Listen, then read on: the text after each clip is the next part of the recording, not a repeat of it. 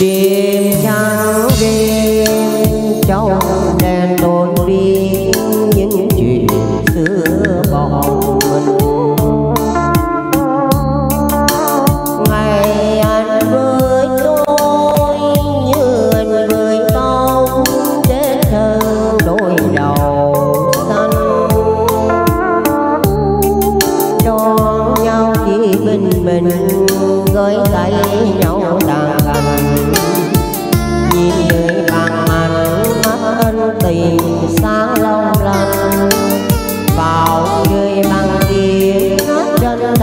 nhớ công an